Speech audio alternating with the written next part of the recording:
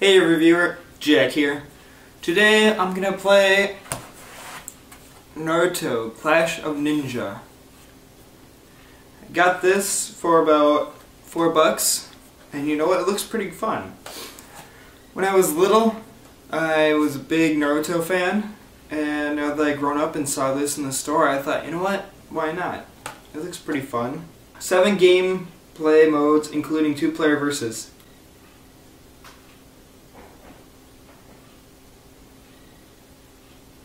Says you could play as Naruto, Sasuke, Kakashi, and more. That sounds pretty... Uh, I mean, seriously? More? I mean, it's not quite... It's kind of a guarantee when playing a Naruto game that you're to at least play those three people. Uh, unleash powerful combo attacks. Not quite. Unlock secret characters. Well, we'll see about that. Well, it's also rated T for teen because of cartoon violence.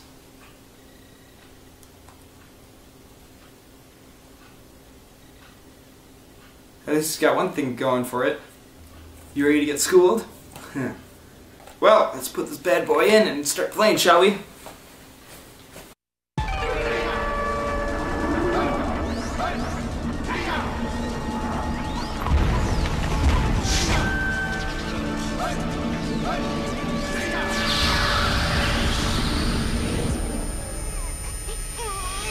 We go.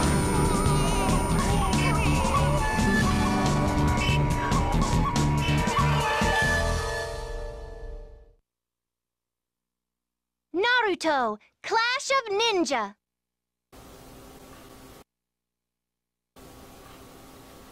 Seriously?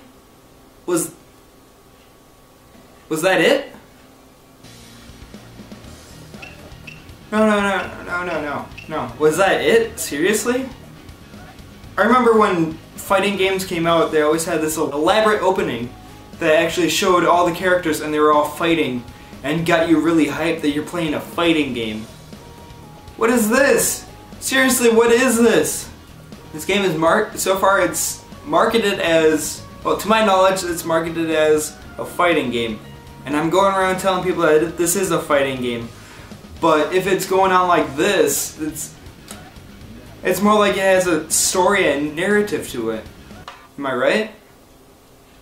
If that's the case, then let's at least play the story and see what goes on in it, right?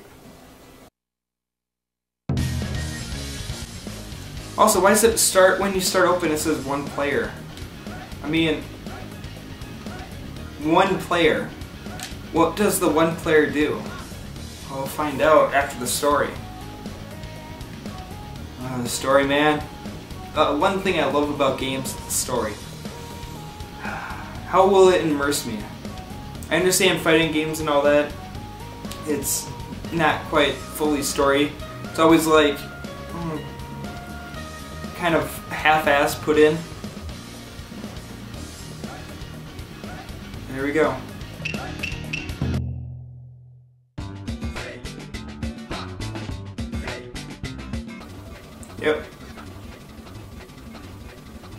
Fighting game. To celebrate your graduation from the academy. Okay, in the end, what it what they're talking about is Iruka let Naruto graduate from the academy because he performed the ninjutsu. Did did that say Naruto Iruka? Clone ninjutsu or whatever. But in the anime and manga, which it's actually based off of, he did that and he beat the guy that I don't know. Just watch it. I'll, I'm just gonna say this: it, you got you got to read the manga and watch the anime because they're pretty good. But the the game is not even taken from the story or manga. It's it's kind of changed to adapt to its own self. It doesn't really make sense.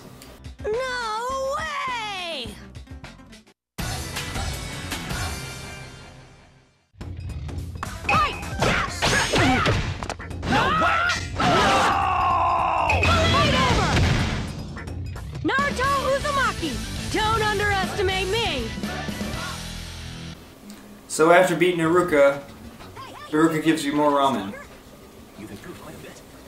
He might have the potential Great story writing. of all time.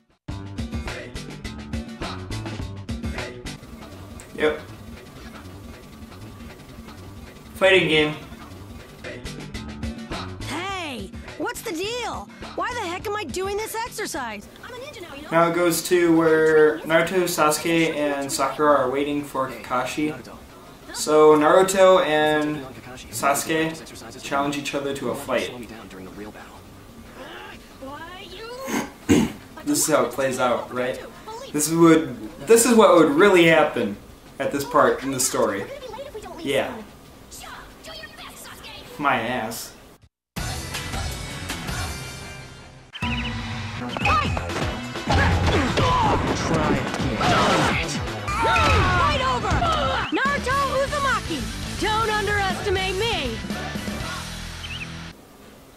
Oh yeah, that's how the fight would play out.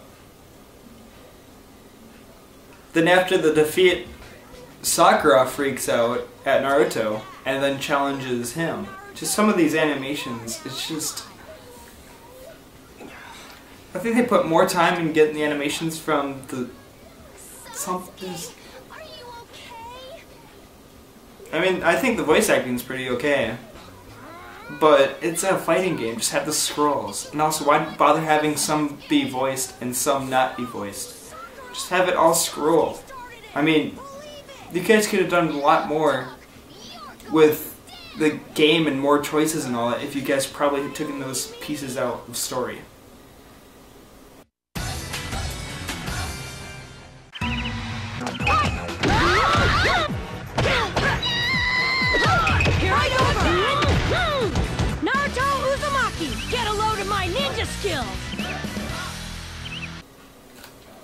This fight would totally happen too. Naruto would just kick everyone's butt. Come on, change it up. It's a story. Have the victors actually win. You think the lowest person, Naruto, would beat the highest honored student, Sasuke, in a fight? No! Come on! And let alone Sakura right afterwards? Come on. Hurry up. Let's get going.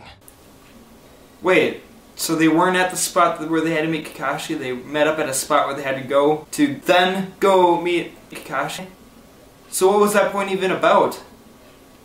God, this game does not make sense. It's just there for... The story does not make sense. It's just there for filler. Yep. Fighting game. Uh, Kakashi Sensei, what do you mean survival exercise? So Kakashi is their new teacher. What they gotta do is get bells from him in the manga and the anime. And apparently in this game too. No!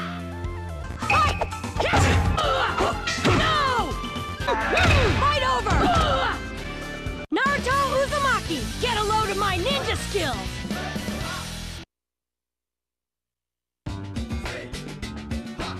Still have a long way to go. But just beating the crap out of him is taking the bell from him. That's not what happened in the story either.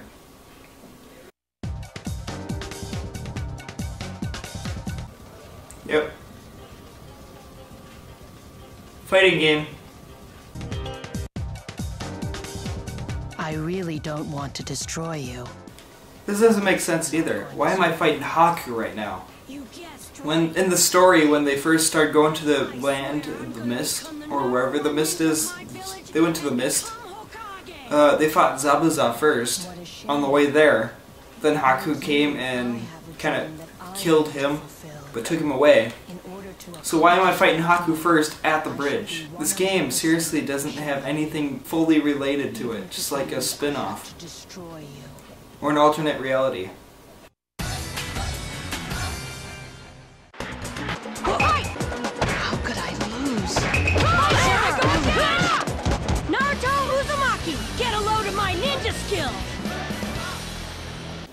So after defeating Haku, you are...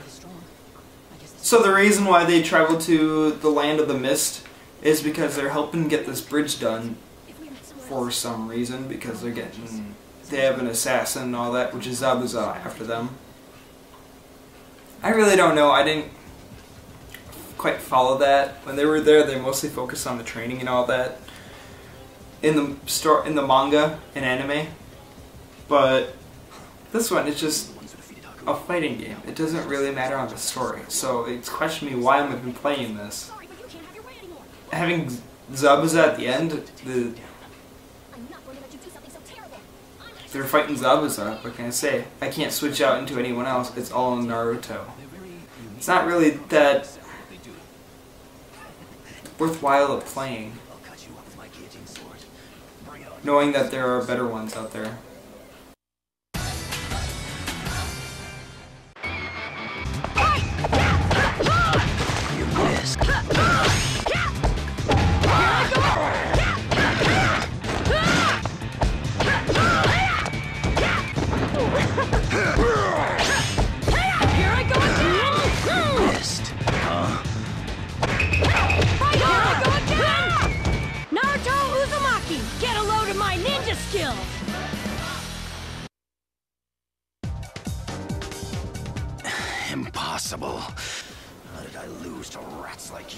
Guys remember in the manga and story, right?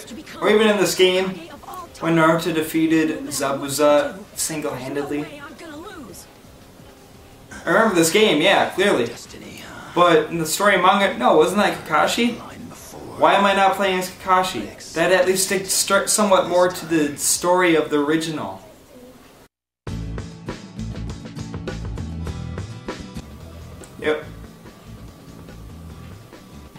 Fighting game. My name is Rock Lee. After the story of the mist, you fight Rock Lee, Challenge me? Well, if that's what you want. who challenges Sasuke. Man, come on! I can't believe it's always about Sasuke! I'll take on Bushy Brow, believe it! I'll take you down in five minutes! Does this mean that we're gonna finally play as someone else besides Naruto? The Hidden Leaf Village. Nope! Over here! Fight!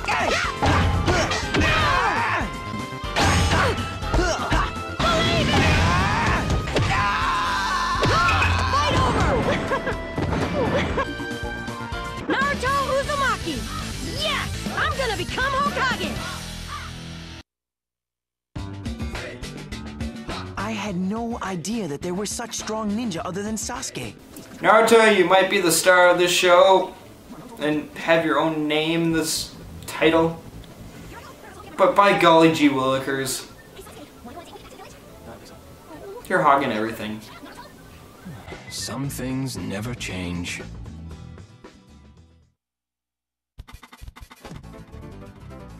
So after Naruto defeats Rock Lee, it's over. Third, not even 30 minutes. And the game, the story is over. I went through like a few books, a couple episodes, but at least it could oh, just.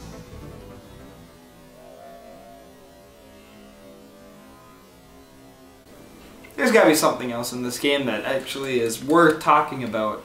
Because, seriously? After defeating Rock Lee, you can now play as Rock Lee? Did I just unlock Rock Lee? Let's try survival. Survival is more of the survival type. Where when you're playing, you gotta just survive. If you lose, you're done and over with. Where you gotta defeat them and stay in longer. The damage counter keep go keeps going in, so if you lose a certain amount of health, you start you, re, you regain a certain amount at the beginning of the next fight, but not all of it is regenerated. You have to keep earning it to get fully regenerated. So after beating survival mode, you unlock difficulty level 4. Let's try time attack.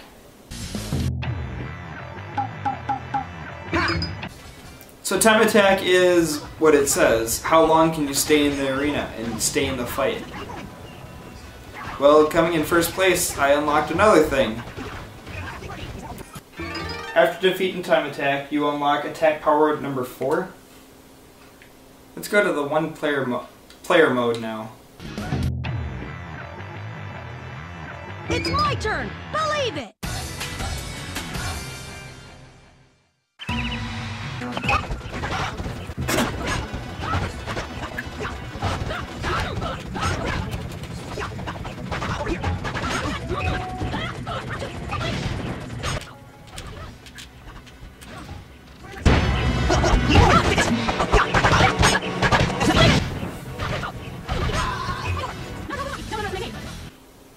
I'm thinking I'm noticing a pattern here. So after beating one player mode, uh, you get shown the credit scene at the end of the story mode. So, story mode is really pointless unless you want to play as Naruto. There's no story to this game! Well, the plus side is after beating one player mode, you at least get screen mode. Well, on the plus side, you when you beat one player mode, you unlock sound test. So now you can have the sound from the characters onto the game. Or you can just go and select the, the sounds they make. Yeah, there's a pattern to this game. Uh, it's just a big unlocking fest.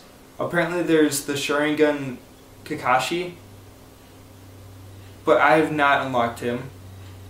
There is Kyuubi Naruto, the nine-tailed fox aura Naruto, but I've not unlocked him. And I don't feel like playing the game long enough to unlock him when it's more like a fighting game built for two people instead of just one lonely person. If you want to unlock stuff and feel like you actually unlock stuff, I'd say play this game until you've unlocked majority of this stuff, then just stop. Unless you want to keep playing with a second player, which is a lot more fun. I don't care what they portray this to be, it's a fighting game. For me, it's a fighting game. Uh, just play it with multiple people, don't play it alone. It gets really boring alone. So if you have a friend, just play it. Don't go seeking this out to say you, well, if you want to get it and you're a big Naruto fan, then yeah, I get it, but it's, it's just a, a fun time. You can get it if you want, but I don't recommend it.